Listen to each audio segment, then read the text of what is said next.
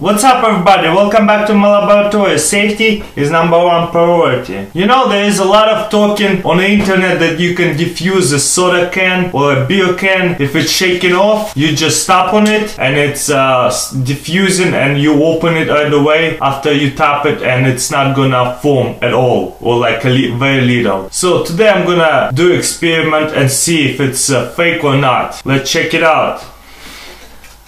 So I'm gonna shake it up, shake it up, shake it up. Couple times dropped it, shake it up, and all you gotta do, hold it by the top, do a bunch of spinning like that. You can do like that, you can do tap on it, whatever, on the side, and let's see if we're gonna open it now. Well, that didn't work.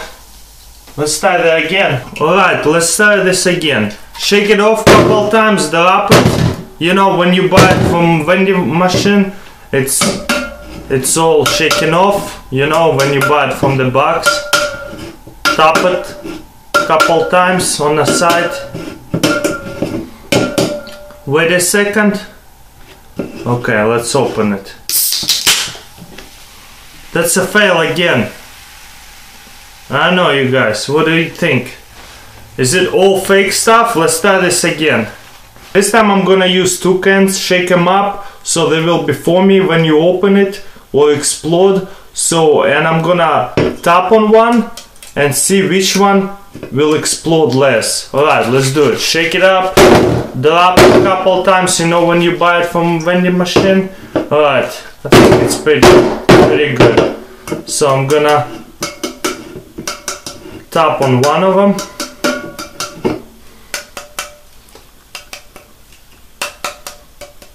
And we see the comparison because I'm gonna open two of them. This one just standing over there. Alright that should be enough. And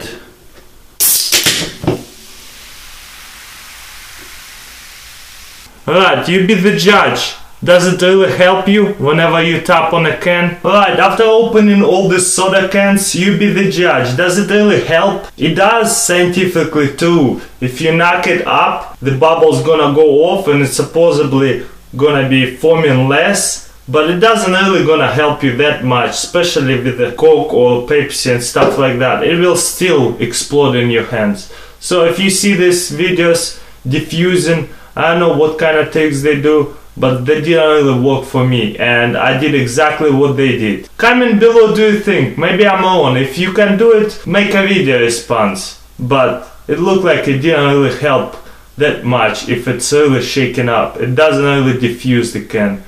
So don't forget to subscribe and I'll see you next time.